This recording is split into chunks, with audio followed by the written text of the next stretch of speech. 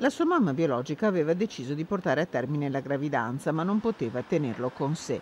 Per questo, come prevede la legge, tre mesi fa la donna ha partorito in anonimato un maschietto sano e robusto che è stato affidato al punto nascita dell'ospedale di Cittadella, dove è stato curato dagli operatori dell'unità di patologia neonatale.